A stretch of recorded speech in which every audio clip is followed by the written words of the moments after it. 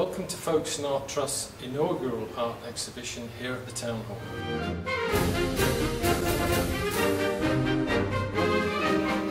It includes a selection of works from the collection, including recent works for sale by the same artist. Uh, the collection comprises of about 250 pieces, uh, mainly paintings and drawings, but also ceramics and bronzes. I'm the chairman of the Folkestone Art Trust.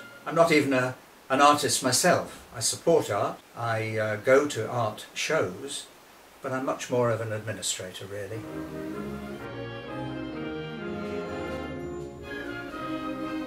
But you know something about this painting, do you? I remember the man well, John Titchell. He was a lovely old guy, and he used to sit on the curb, but this road goes around here, and that's the sea out there, and that takes you down to the Hotel Imperial. Hmm. And here is the filling station.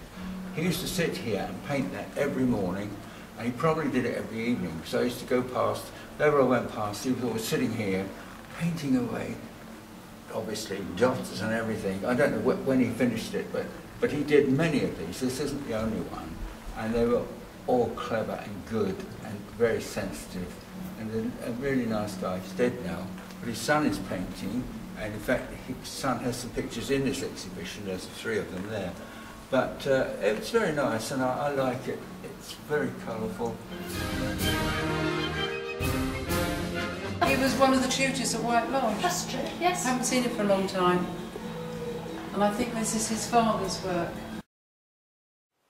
It was fortunate, therefore, that whilst work was being exhibited in this important regional gallery, that a committee were enlightened sufficiently to purchase not only these um, important works, but also um, up and coming artists, local artists that are represented now in the collection, such as Tim Titchell, John, his father John Titchell, um, uh, John Hoskins, uh, and Arthur Neal, all of whom have gone on to very sound careers in their respective fields. As a teacher in a local language school, I find this exhibition very useful and interesting because it allows me to bring my students here and they can see some local art that captures the spirit of this area and they can find a bit more about the local culture and hopefully enjoy some very nice paintings. Uh, so, Ron, uh, tell me about Fred Cuming. I think you knew him from the old days, don't you? Well, he was born in South London. I can't remember the details, but anyway, he, he lived in Hythe in the 1970s, I think it was, and that's probably when he painted this picture. But he's gone on to become a, a Royal Academician and very, well, I would say almost famous because he, his work commands high prices and they are worth it and they're very nice.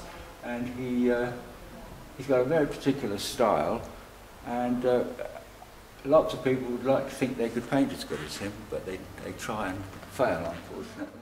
It's only a small painting, but it's indicative of what he does. The collection was initiated by the Friends of the Metropole and fully developed then by John Evely and Sir Kenneth Clark with financial support from KCC. So what we've done in the current exhibition is something we've never done before.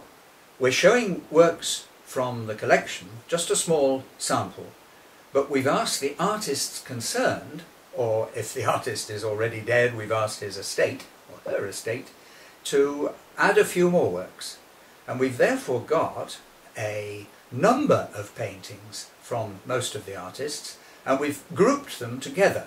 So when you look at the screens, you're seeing several works by the same artist, but created over a long period of time, perhaps from the 60s, when it first entered the Metropole collection, to today, or quite a recent uh, painting.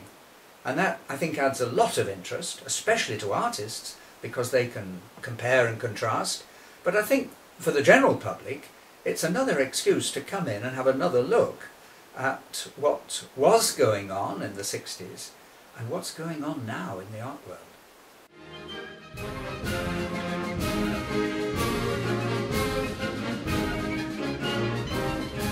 straight away I call it the tree of life. It just seems to be so alive even the, the seashells, you know, they're all life. And it's just absolutely brilliant. And I'm going to buy it. The first exhibitions that we had to show off the whole collection in three major goes was in the Grand. And uh, they supported us very well indeed. And we still store our collection there, for which we're also grateful. The visitor to the Folkestone Art Trust collection and, and also students will see a continuity of artistic development through the 20th century in the form of painting, drawing, printmaking and sculpture. And it's very important uh, for people to realise that this is um, a very continuous process, particularly in relation to the concurrent activities of what is popularly known as conceptual art, uh, which appears uh, every three years in the Folkestone Triennial. We're on our mettle now. We've done this particular type of exhibition. It was a new idea and I'm not at all sure what we're going to do next. I think we could well repeat that, but thinking ahead, what should we do to sell our collection, to show it off without boring people? And I'm sure the way is to attract currently practicing local artists to want to show their work alongside the collection. So one might pick up a theme, the same theme as the triennial, for example, in triennial year, and make that theme the um, binding force of the, of, uh, of the next exhibition. So we're actually going into committee soon to uh, make that decision and work out how we're going to do it.